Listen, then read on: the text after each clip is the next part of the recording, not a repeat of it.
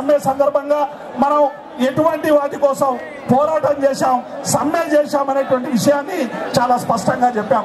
ఆరు దశాబ్దాలుగా తెలంగాణ బిడ్డలు తెలంగాణ ఉద్యోగులు ఈ గడ్డ మీదనే పరాయి వాళ్ళుగా బతికినటువంటి చరిత్ర నుండి ఈ తెలంగాణ బిడ్డలే స్వపరిపాలన కావాలని తెలంగాణ ఉద్యోగులు నలభై రెండు రోజులు సకల జన్ల సమ్మె చేశారు సకల జన్ల సమ్మె సందర్భంగా ప్రభుత్వం ఎంత నిర్బంధకాండ విధించిందో మనకందరికీ కూడా తెలుసు.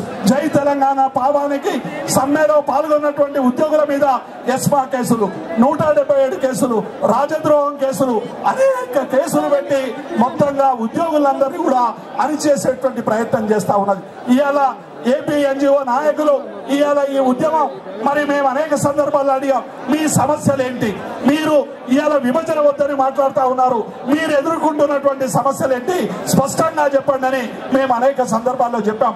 అది మూడు వందల డెబ్బై ఒకటి డి సమస్యనా పెన్షన్ సమస్యనా ట్రాన్స్ఫర్ల సమస్యనా ఏ సమస్య అయినా ఆ సమస్యకు పరిష్కారం కనుగొనేటువంటి పద్ధతులు ఉన్నాయని మేము అనేక సందర్భాల్లో చెప్పాం. రాష్ట్ర విభజన తర్వాత అనేక స్వాతంత్రం వచ్చిన తర్వాత అన్ని రాష్ట్రాల్లో ఎట్లా విభజన జరిగిందో తెలంగాణ రాష్ట్రంలో కూడా విభజన అట్లే జరుగుతుంది. ఆ ప్రకారమే ఉద్యోగుల విభజన జరుగుతుందని చెప్పినప్పటికీ కూడా ఈరోజు కొంతమంది పెట్టుబడిదారుల కొంతమంది మరి రాజకీయ నాయకుల కుట్రలో పడి ఈ సమ్మెను కొనసాగిస్తా ఉన్నారు. మేము వాళ్ళకి విజ్ఞప్తి చేస్తా ఉన్నాం. ఇవాళ విభజన అనివార్యం.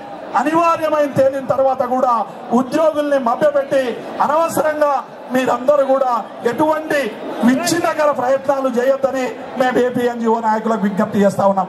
ఇవాళ ఉద్యోగుల సమ్మె ఆరు లక్షల తొంభై వేల మంది సమ్మె చేస్తా ఉన్నారని రాష్ట్ర ప్రభుత్వం ప్రశ్నిస్తా ఉన్నది. మేము రాష్ట్ర ప్రభుత్వానికి విజ్ఞప్తి చేస్తా ఉన్నాం. సకల జిల్లా సమ్మె సందర్భంగా నలభై రెండు రోజులు మేము సమ్మెలు చేస్తే ఎక్కడో అక్కడ ఒక ఉద్యోగి పనిచేస్తా ఉంటే సమ్మెల మీద రోజు ప్రకటనలు ఇచ్చి సమ్మె జరగడం లేదని చెప్పినటువంటి రాష్ట్ర ప్రభుత్వం ఈ రోజు నువ్వు లక్ష యాభై వేల మంది ఎస్సీ ఎస్టీ బీసీ మైనార్టీ ఉద్యోగులు సీమాంధ్ర ప్రభుత్వంలో సమ్మె కూడా ఇవాళ సమ్మె చేయిస్తున్నట్టుగా మరి మాట్లాడుతూ ఉన్నది. అలాగే ఈ రోజు హైదరాబాద్ నగరంలో అరవై ఎనిమిది వేల ఉద్యోగులు ఉంటే కేవలం మూడు నాలుగు వేల ఉద్యోగులు మాత్రమే సమ్మె చేయిస్తూ ఉంటే ఈ సమ్మెను అరవై ఎనిమిది వేల ఉద్యోగులు సమ్మె చేస్తున్నారు అటువంటి మాటలు మాట్లాడుతూ ఉన్నది.